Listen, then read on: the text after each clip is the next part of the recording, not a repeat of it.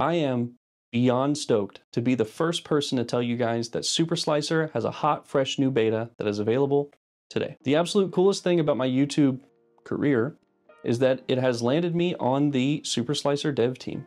And today I'm announcing our new public beta. We know that it's been a minute. Uh, the last major release was last July.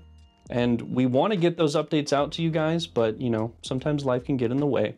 But we're working as hard as we can. And if you see me looking off the camera, I'm just checking my script. I don't have my normal teleprompter today, so bear with me on that. Today's beta is gonna bring us up to Prusa Slicer 2.7. And through 25 private alpha builds, we were able to fix over 200 bugs and add some new features along the way. Editing pockets here. Uh, during filming this, I actually figured out two more bugs and there were a couple more that we found. So we did a 26th release.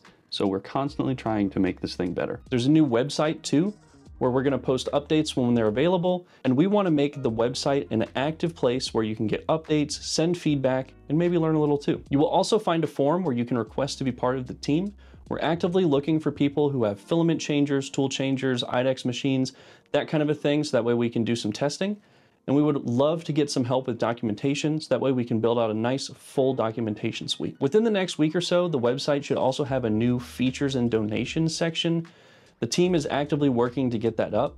Here, you can submit some features that you want to be voted on or donated towards to get them added into future builds. But please, if you're going to submit, we don't want things that are just add this feature. We want to see why you want it added and the functionality that it should add. Please be detailed in these requests. Once those requests are sorted through, you can vote on the smaller ones to add into the slicer, but the bigger tasks are going to need sponsorship donations, which that money goes directly towards the developers. Something else I can share with you guys is that we're working on the ability to offer commercial support with Super Slicer and that'll be handled with advanced 3D printing. Over the past few months, our team has worked hard to bring you guys this new build.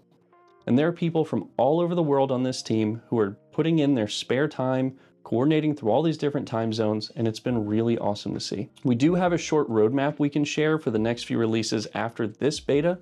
It's a little bit number heavy, so bear with me. The dev team is already in the lab cooking up a bug fix release of 2761.1 and the next major release of 2762, which will be a feature release.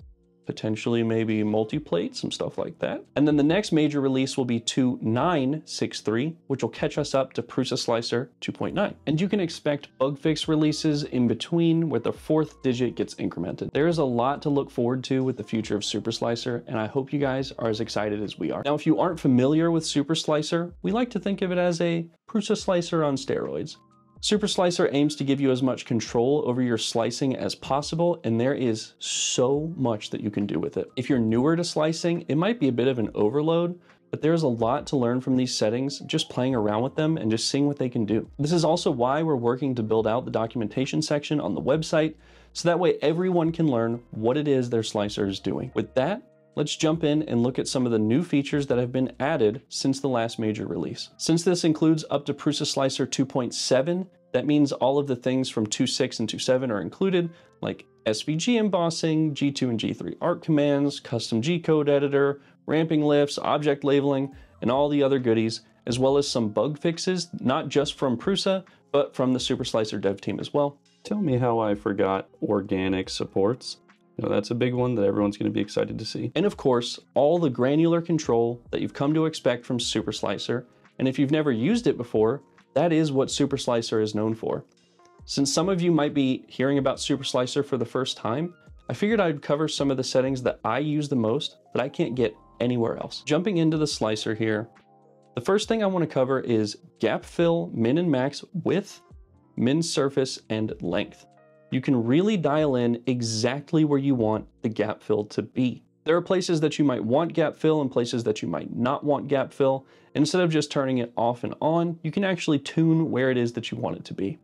And similarly, small perimeter min and max length, as well as speed. You can see looking at speed, it's kind of all over the place in this section of the print. If I change it to something bigger, so it includes more perimeter, there you go. It evens out the speed for the whole section of small perimeters that are within that max length.